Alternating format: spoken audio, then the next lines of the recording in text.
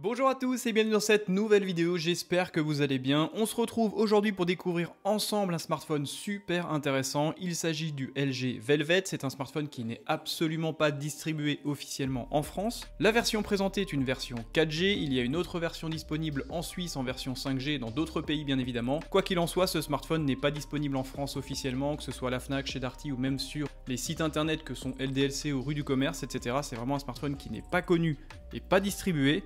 Mais comme vous le savez, c'est une marque que j'affectionne tout particulièrement et je suis vraiment déçu et assez surpris de voir qu'en 2020, LG a quasiment disparu complètement de l'horizon des smartphones.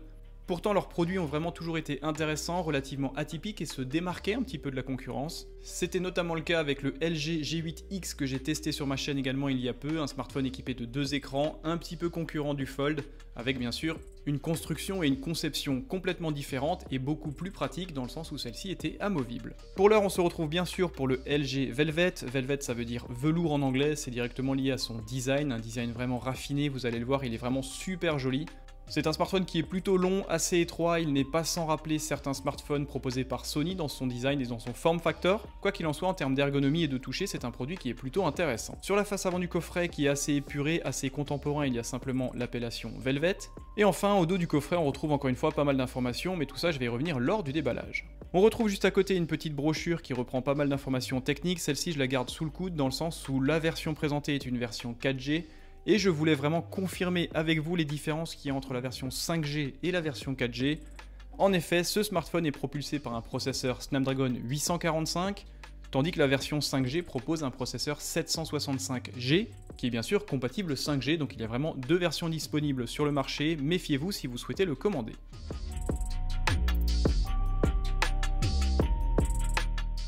A l'ouverture du coffret, on tombe directement sur le smartphone. On se rend compte bien évidemment que c'est un smartphone qui est relativement étroit, assez long, même si vous regardez un petit peu le design qu'on a sur le dépliant, on se rend compte que ça se rapproche vraiment énormément du design proposé par Sony sur ses derniers smartphones, c'est-à-dire un smartphone plutôt étroit avec un form factor assez spécifique qui permet malgré tout une prise en main relativement agréable.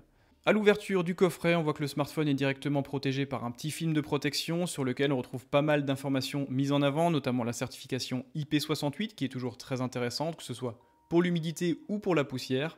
Et bien sûr, comme la plupart des smartphones proposés par LG, il est également certifié 1000 STD810G, ça veut dire que ce produit est un petit peu plus résistant que les concurrents, notamment en cas de chute, de choc thermique, d'humidité, etc. Donc c'est un produit qui est plutôt intéressant si vous souhaitez barouder. On retrouve également une petite mise en avant de l'écran OLED qui est vraiment super sympathique. Il y a bien sûr la mise en avant de la stabilisation optique lors de la vidéo qui est vraiment excellente. Et enfin pour finir un design qui est également assez atypique, vraiment soigné, proche du velours, c'est comme ça tout du moins qu'il l'explique sur le site. Sous le smartphone, on retrouve bien sûr un petit guide de démarrage rapide. Alors ce smartphone tourne bien sûr sur Android en version 10, du coup il n'y a pas de difficulté particulière pour la prise en main. C'est un produit qui se démarque comme n'importe quel autre smartphone Android depuis bien longtemps. Quoi qu'il en soit, il est quand même toujours intéressant d'avoir accès à ce petit guide de démarrage. On retrouve également la petite pin pour extraire le tiroir NanoSIM dans lequel on peut mettre une seule carte NanoSIM, 4G pour le coup, 5G sur l'autre version disponible à la vente. Et point intéressant, vous pouvez également étendre la mémoire via une carte micro SD allant jusqu'à 2 Tera, ce qui est plutôt sympa. On retrouve bien sûr un câble de chargement USB-A vers USB type C 2.0, même si ce smartphone est bien sûr compatible avec la version USB 3.1, le câble fourni d'origine se limite à du 2.0. Celui-ci est plutôt court, hélas, il faudra donc être assez proche d'une prise murale. Et enfin, pour finir avec les accessoires fournis avec ce smartphone, on retrouve un petit chargeur secteur. Il est vraiment super compact et très léger. C'est un chargeur qui est compatible avec la technologie Fast Charge, ce qui est plutôt intéressant. Une puissance aux alentours de 18 watts. Je n'ai pas l'information parce que celle-ci est vraiment très peu diffusée. Il est vraiment difficile de retrouver les specs techniques de ce smartphone aujourd'hui. Quoi qu'il en soit, on peut tabler avec certitude sur une puissance de charge allant entre 16 et 18 watts en filaire.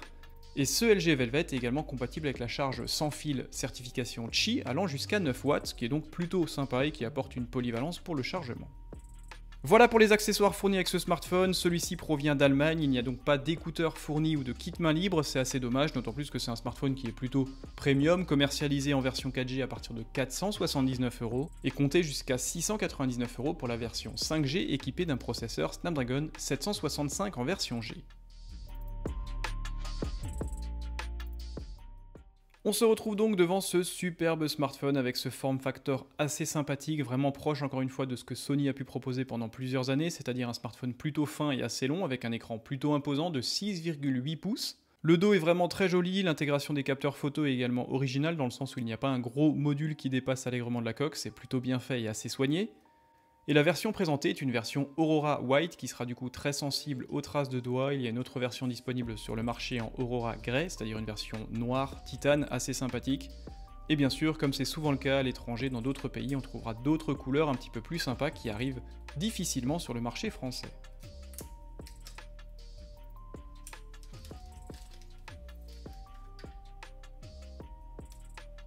En toute sincérité, la coque, elle est vraiment sublime, c'est vraiment très joli ce côté arc-en-ciel, ce côté euh, aluminium qui est vraiment très bien réalisé. Le smartphone respire la qualité, il n'est pas franchement lourd, il pèse aux alentours de 180 grammes, donc pour une dalle de 6,8 pouces, ça fait une répartition des masses qui est plutôt sympa, un smartphone qui est dans l'ensemble plutôt léger par rapport à sa taille. Et l'ergonomie du coup est plutôt agréable, c'est un produit qui se tient bien en main malgré sa taille de 6,8 pouces.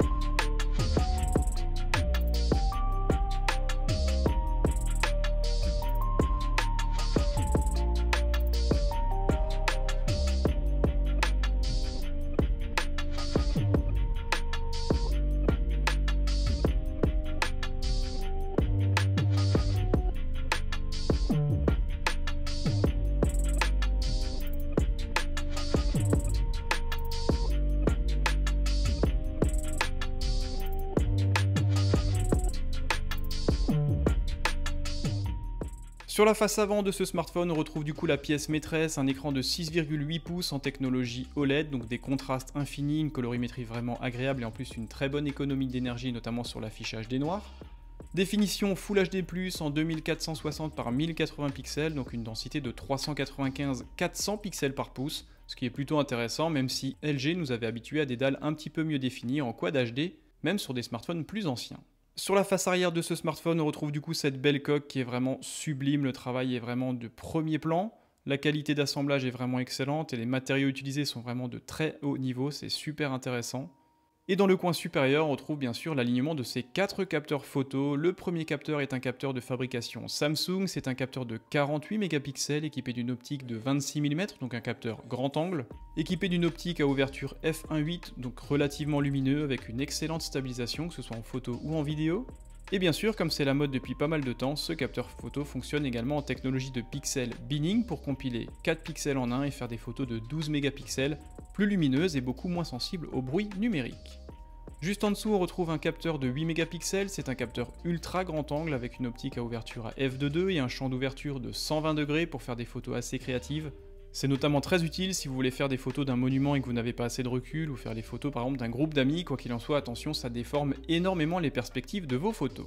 Et enfin, juste en dessous, on retrouve le troisième capteur photo, c'est un capteur de 5 mégapixels, c'est un capteur qui va être utilisé uniquement lors du mode portrait pour générer un flou d'arrière-plan autour du sujet, et simuler un bokeh généré par une optique à grande ouverture sur un capteur plein format par exemple sur un appareil réflexe. Et le dernier poinçon n'est pas un capteur photo, mais c'est bien sûr un flash LED afin de déboucher les ombres lors de la photographie, ce qui est toujours très utile.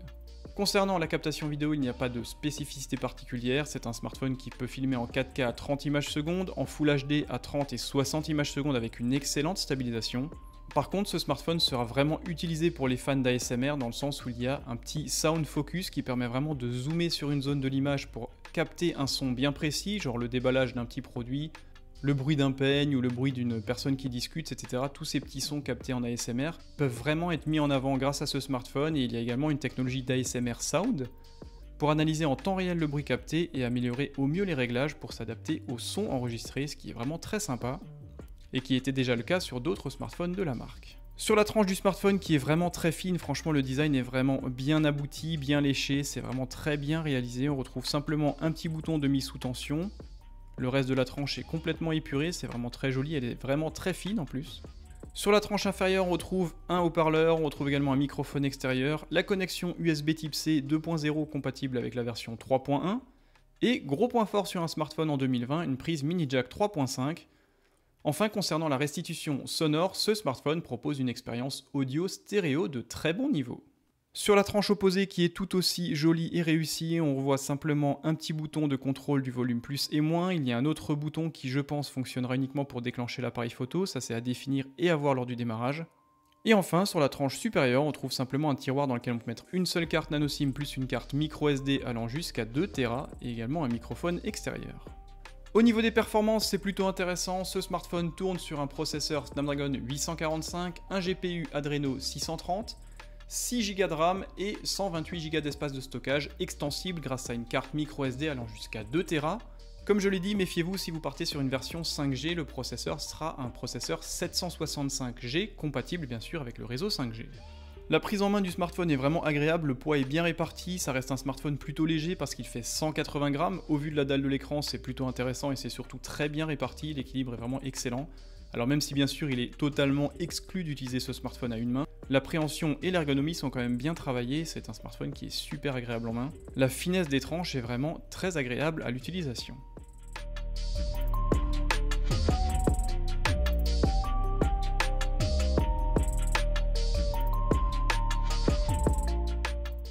On se retrouve donc devant ce superbe smartphone avec cette très belle dalle OLED de 6,8 pouces, les couleurs sont vraiment agréables, les contrastes sont bien sûr infinis, technologie OLED oblige.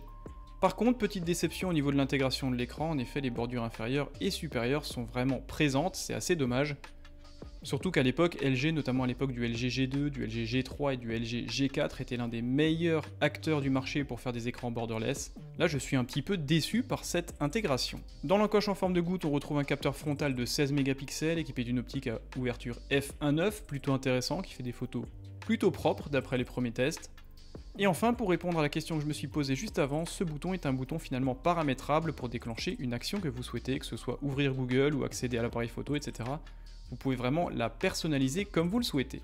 Concernant l'autonomie, ce smartphone est équipé d'une batterie de 4300 mAh, donc c'est plutôt costaud. Attention, une dalle de 6,8 pouces, ça consomme pas mal d'énergie, même en technologie AMOLED. La vitesse de chargement n'est pas connue, quoi qu'il en soit, avec une puissance d'environ 16-18 watts en filaire et une puissance sans fil de 9 watts, ce ne sera pas non plus le plus rapide du marché.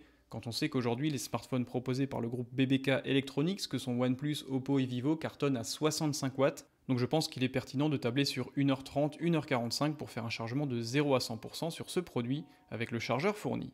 Au niveau de la navigation, c'est très réussi, c'est un smartphone qui bien sûr tourne sur Android en version 10, une surcouche assez sympa, assez originale comme LG nous a habitués à travers les années. Le mode sombre est bien évidemment de la partie, ça prend vraiment tout son sens sur un écran OLED et en plus ça économise énormément d'énergie, ce qui est plutôt sympa. Petite déception néanmoins, il n'y a pas un taux de rafraîchissement supérieur à la moyenne il me semble, je crois qu'on est limité à 60 Hz. Il n'y a pas de communication par rapport à ça sur le site de LG, mais je n'ai pas l'impression que celui-ci soit en 90 ou 120 Hz. Pour les autres paramètres techniques, ce smartphone est équipé d'un module Bluetooth en version 5.1, il est certifié IP68, il a également une certification militaire pour la résistance, notamment au choc, au choc de température, à l'humidité, etc. Donc c'est toujours très sympa. Module NFC, connexion USB type C plus mini jack 3.5, restitution sonore en stéréo, ce qui est toujours très sympa, une seule carte nano SIM, la possibilité de mettre une carte micro SD jusqu'à 2 Tera, et du coup c'est un smartphone qui est disponible actuellement en deux versions, cette version Aurora White et une autre version Aurora Grey qui se trouve juste ici, qui est plutôt sympa. Voilà pour la présentation rapide de ce LG Velvet en version 4G. Dites-moi dans les commentaires si vous souhaitez plus d'informations, si vous voulez que je fasse un test vidéo, un test photo sur ce produit, ce sera avec grand plaisir. N'hésitez pas également à vous rendre sur la vidéo du LG G8X équipé de deux écrans que j'avais testé il y a plusieurs mois de ça, qui a plutôt bien cartonné, quasiment 30 ou 40 000 vues il me semble, il faudra que je vérifie. Et bien sûr, rejoignez-moi sur Twitter et sur Instagram pour me parler de ce produit, vous y trouverez bien sûr les photos que je vais faire d'ici quelques jours avec. Je vais tester la photo de nuit, je vais tester la macro, la photo grand angle, etc. Je vais également tester la stabilisation en vidéo. Donc je vous invite à me rejoindre sur mes réseaux sociaux, Twitter, Instagram, à vous abonner à ma chaîne YouTube si ça vous fait plaisir. J'ai vraiment besoin de ça pour continuer mes aventures et bien sûr être de plus en plus crédible auprès des marques pour avoir des produits de plus en plus intéressants et vous faire plaisir bien sûr. Quoi qu'il en soit, merci d'être toujours plus nombreux, prenez soin de vous, conservez les gestes de distanciation sociale pour qu'on s'en sorte enfin de ce coronavirus et qu'on puisse reprendre des vies quasi normales. Prenez soin de vous et à très bientôt